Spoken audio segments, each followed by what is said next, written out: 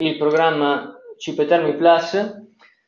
Anche questo, come eh, vediamo, ha la, la, un'impostazione analoga agli altri programmi di calcolo, nel senso che presenta la stessa tipologia di struttura d'albero sulla sinistra e un ambiente di eh, controllo, definizione e modifica dei dati sulla parte destra.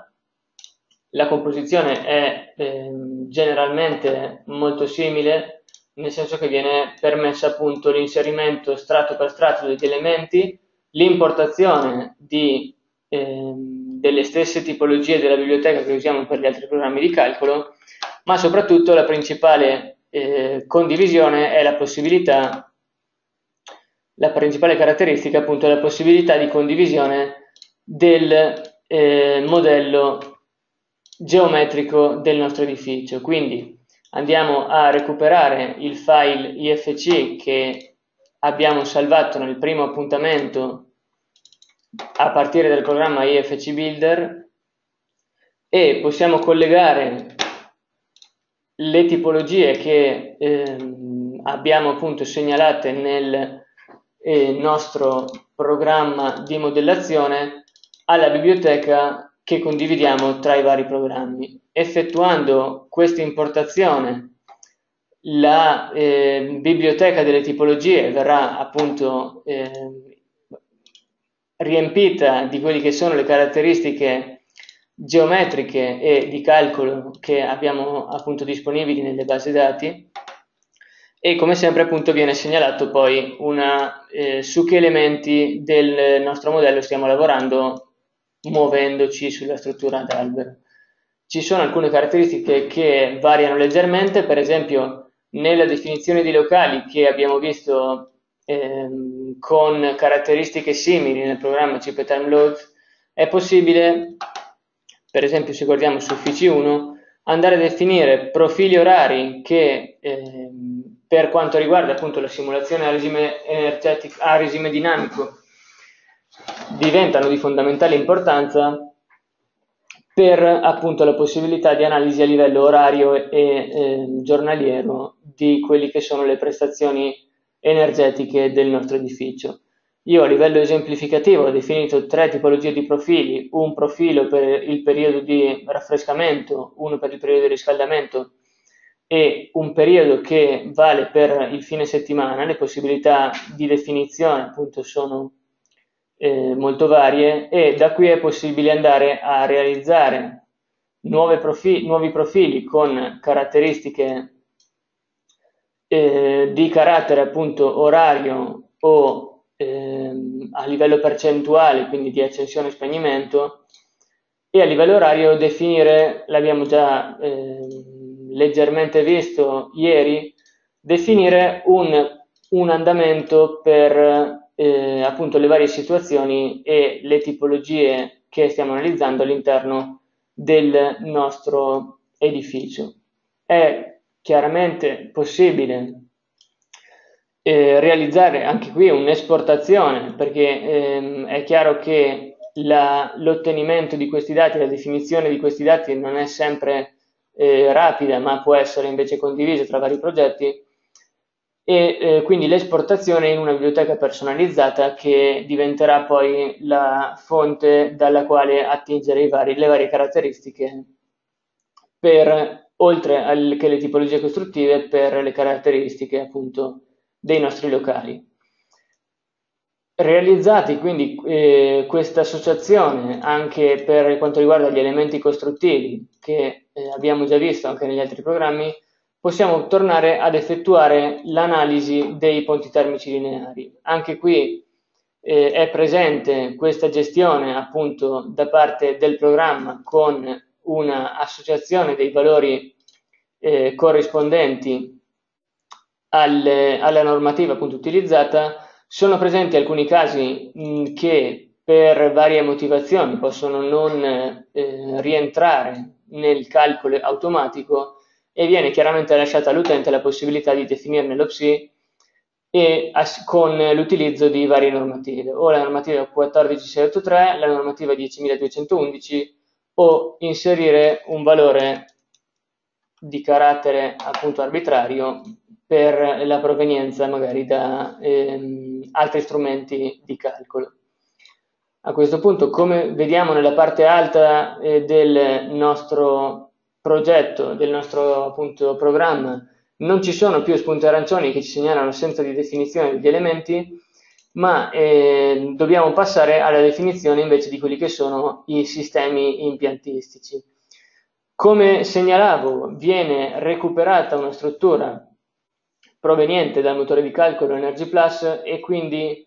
ehm, caratterizzata da anche una mole di inserimento dati abbastanza importante. Vengono definite, eh, lo vediamo in queste finestre di dialogo, soprattutto per distribuzione e impianti di eh, generazione eh, vengono richieste appunto una vasta quantità di dati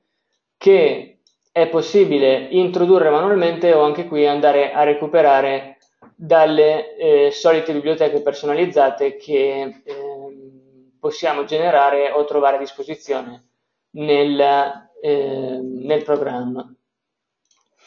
Una volta definite queste tipologie di impianti, magari andiamo a definire, eh, stiamo ragionando appunto per il sistema di raffrescamento con i valori di default delle, dei sistemi impiantistici e eh, passeremo poi, eh, possiamo andare a segnalare appunto, come vedete anche per la parte di unità terminali, varie eh, tipologie di elementi e varie caratteristiche degli stessi con riferimento appunto alla zona termica che si sta eh, caratterizzando. Una volta definite queste caratteristiche, qui eh, parliamo invece della parte di riscaldamento, quindi un, si tratta di un sistema idronico che garantisce appunto il soddisfacimento dei servizi all'interno del eh, nostro edificio. Una volta definite queste caratteristiche, dicevo, sarà possibile già passare alla parte di eh, dati di, eh, di caratterizzazione del nostro appunto eh, della località nella quale stiamo andando a lavorare. Andiamo a eh, vedere dove viene richiesta appunto la definizione del riferimento e eh, in questa finestra di dialogo ci viene permesso appunto di importare i file con estensione EPW che sono caratteristici oltre che eh, delle basi dati appunto meteorologiche utilizzate appunto da in Energy Plus anche dei, per esempio le eh, stazioni ARPA che quindi cons- eh, permettono a livello locale in Italia di andare a importare vari parametri climatici per le varie località e da qui ottenere un, la distribuzione del vento, l'irradiazione globale su piano orizzontale e l'andamento annuale della temperatura esterna, con un livello di dettaglio, un livello di variazione chiaramente eh, abbastanza elevato per poter eh, corrispondere appunto ai profili di utilizzo che andiamo a segnalare che potrebbero essere o dovrebbero essere, a seconda della precisione che si vuole utilizzare nel calcolo, di livello orario. Una volta recuperati questi dati, appunto, è eh, necessario andare a definire alcune delle eh, dei parametri del calcolo che eh, utilizzeremo appunto per l'ottenimento dei risultati e possiamo passare a eh, questo esempio che abbiamo già eh, appunto preparato per la eh, presentazione di oggi che, eh, nel quale appunto vediamo un edificio, una palazzina per uffici eh, multipiano nel quale sono state definite le zone con caratteristiche di riscaldamento e eh, i corrispondenti profili e di raffrescamento con definizione appunto dei sistemi impiantistici e possibilità di eh, ottenimento già dei dati di calcolo. Gli output appunto presentati sono di varia natura. Intanto una prima analisi del modello che ci permette elemento per elemento di andare a eh, analizzare